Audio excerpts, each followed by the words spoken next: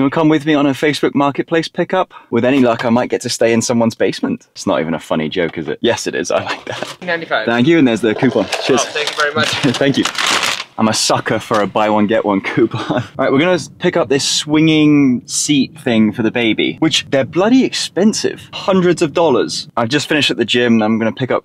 Well, I just picked up food to drop off to Shay and the boys. The boys picked up Duda as well. Doodah, come here. Come here, Doodah. Good girl.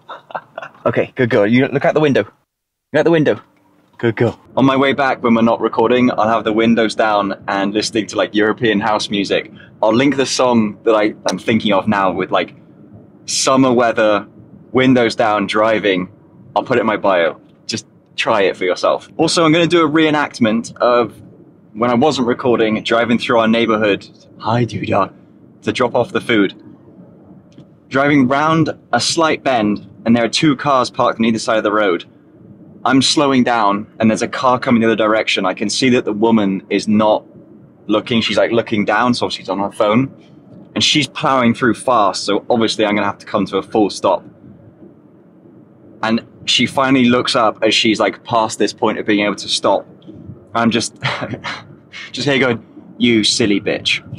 Just, and then of course, I, I find this is a huge thing in America. Even when someone knows they're in the wrong, just deadpan expression as if like, oh, I have no idea what you're talking about.